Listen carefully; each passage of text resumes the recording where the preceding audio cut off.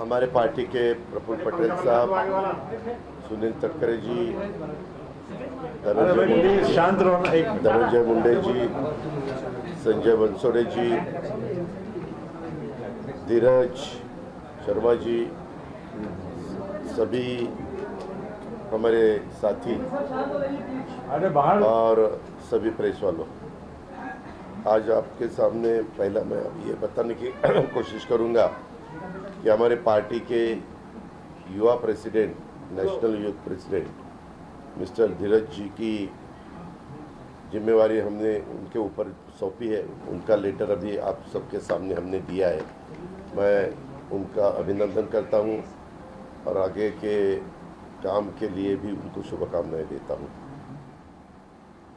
आज हम सब दिल्ली आने का कारण ये है कि आपको पता है तीसरी दफ़ा देश के प्रधानमंत्री नरेंद्र मोदी साहब उनका उच्च सेरेमनी है। एनडीए का राष्ट्रवादी कांग्रेस पार्टी एक घटक है। जब लोकसभा की चुनाव हुए, वो चुनाव होने के बाद दो तीन दफ़ा एनडीए की मीटिंग हुई।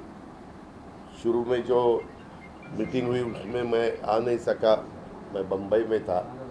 लेकिन हमारे पार्टी की तरफ़ से प्रफुल्ल भाई को और सुनील तटकरे साहब को भेजा था। और फिर नेक्स्ट टाइम भी सभी जो संसद मेंबर है, जो नवनिर्वाचित होके आए हैं, उनकी एक मीटिंग थी। एनडीए के सभी नेताओं की एक मीटिंग थी। वो मीटिंग